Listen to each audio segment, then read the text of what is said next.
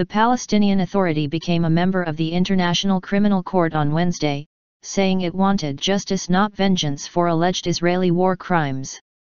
Joining the court is part of a broader effort by the Palestinians to put international pressure on Israel and comes at a time when the chances of resuming negotiations on Palestinian statehood are seen as slim following Israeli Prime Minister Benjamin Netanyahu's recent election victory and tough campaign rhetoric.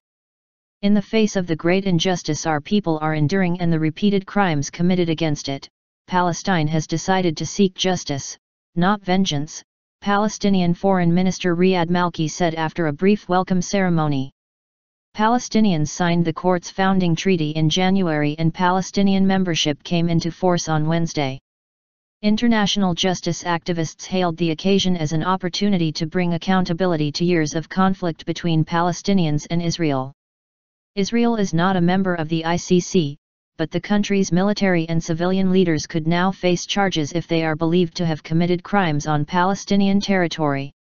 Israel had no immediate comment on Wednesday.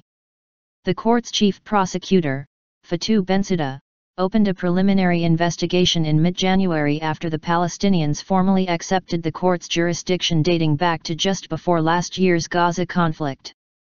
Malki said the Palestinian Authority was waiting to see the result of the preliminary probe.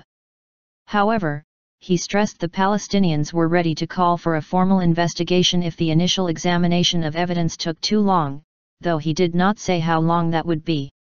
Some preliminary examinations have taken months, others are continuing after years.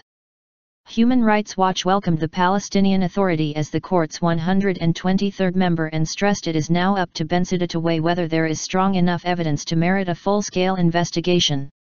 Any decision whether to pursue an investigation and against whom is not in the hands of the Palestinians or the Israelis, said Balkees Jarrah, International Justice Counsel at Human Rights Watch. The review will likely focus initially on last year's Gaza conflict the Palestinians suffered heavy civilian casualties, prompting allegations by some rights groups that Israel committed war crimes. Leaders of Hamas, which rules Gaza, could also face charges because the militant group fired rockets indiscriminately at Israeli civilian areas. In a statement, Hamas official Ismail Radwan called Wednesday's move a step in the right direction.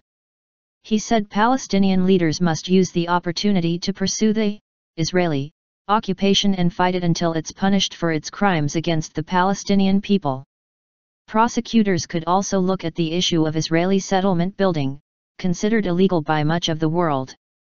However, prosecutors in The Hague do not have jurisdiction over events that happened before the Palestinians joined the court.